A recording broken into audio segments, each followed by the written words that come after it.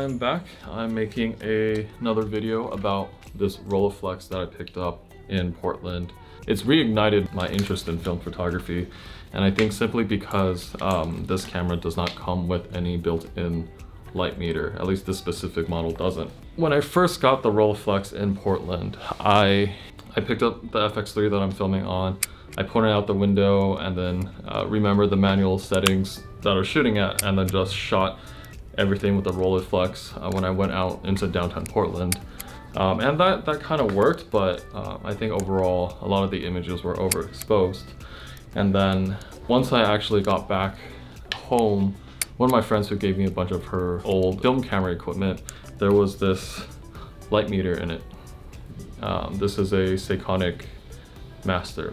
Now, I don't exactly remember what the numbers uh, exactly mean and how I'm supposed to set it. Once you point at your subject, um, based off the settings, uh, based off whatever this points at is what it tells you what your aperture should be or what your shutter speed should be at. But carrying this around to shoot with wasn't the most convenient way to shoot. For the longest time, I was using uh, a light meter app on the iPhone. This actually helped me expose a lot of my images properly um, because you can lock the, the ISO number and you just point your camera at whatever you're, you're shooting at and it gives you what the other value should be. This was really useful. Um, I relied on this a lot, but pulling out your phone or pulling out like this type of light meter, um, it wasn't really the, the most convenient way or the, the fastest way to get like an exposure reading.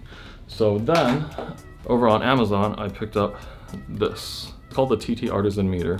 So on it, you can select the ISO number, the aperture, you can set the aperture and you can set the shutter speed. And then there's a button on here, which you then push depending on what you're pointing at. And then it gives you a little metering telling you like, oh, is it is it properly exposed? Is it exposed under or over one stop or is it uh, over or under exposed by two or more stops? This one is actually pretty nice because it comes with a cold shoe mount. You could just slide it on top.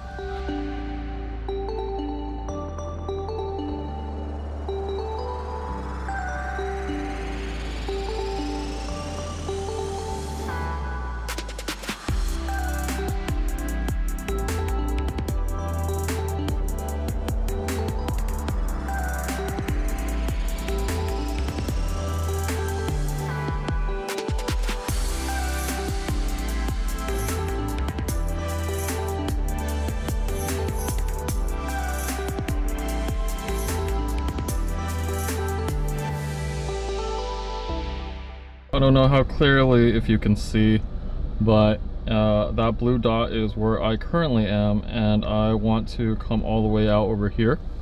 Hopefully the hike won't be that bad, but if it is, I'll just stop and um, not pursue because it seems like there's a few things along the way um, to the Kaena Point Pillbox um, that I could just stop and check out and watch the sunset from there. Yeah, uh, that's the plan. It's currently 2.46 right now. Sunset is at 6.30, so it's about a 40 minute drive over to there. I hope there's parking. We'll, we'll see how it goes.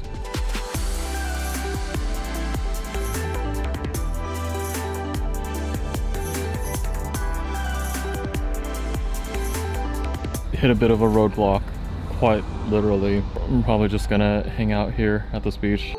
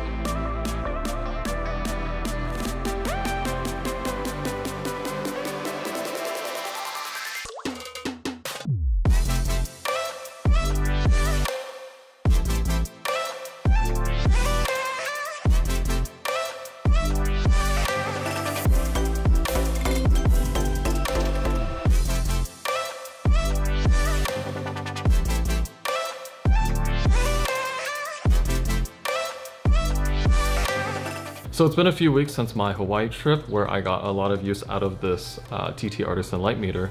And I have to say I'm really pleasantly surprised um, at how well my photos uh, were exposed using this little light meter. The small size really made it really easy to slip in and out of my pocket even when I was shooting with my Rolleiflex and I found it it was much quicker in getting a reading than using a phone app or the Sekonic Master.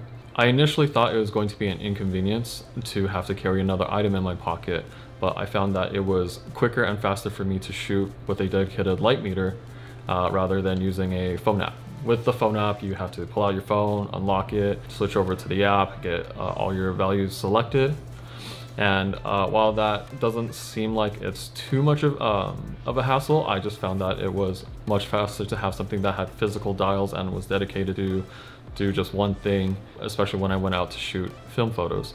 I found that in my experience that having something with physical dials and button was a lot faster for me to get a light meter reading versus having to deal with some of the issues that a phone app might have.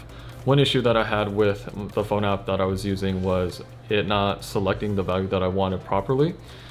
For example, if I wanted to set the aperture at 5.6, it would sometimes get stuck at the value just one before, let's say it was four. And it would take me a couple tries for me to actually move the dial. I had to move the the, the slider just a little bit past 5.6 for the app to finally land on 5.6.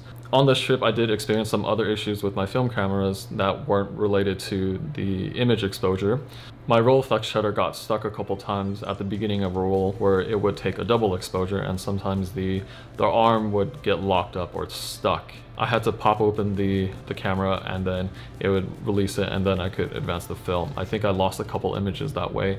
I've also noticed that there was some consistent film distortion on my Canon photos. It would happen maybe every one to two photos that I took um, and it happened over three or four different rolls. I couldn't quite pinpoint what the issue was other than it possibly being an issue with the camera itself with the AE1 because I didn't see any of the distortion on my on my Rolleiflex photos. It was only on the 35 millimeter rolls.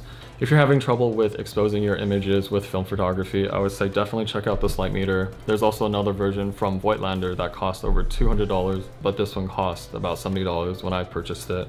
And it, it functioned perfectly fine. My photos came out well exposed. You just need to understand the exposure triangle to some degree, specifically when it comes to shutter speed and aperture. Your film speed or your ISO is going to be locked off dependent on what film that you buy and load into your camera. That's going to be it for this video. If you stuck through all the way to the end, thank you for watching and thanks for listening to me ramble.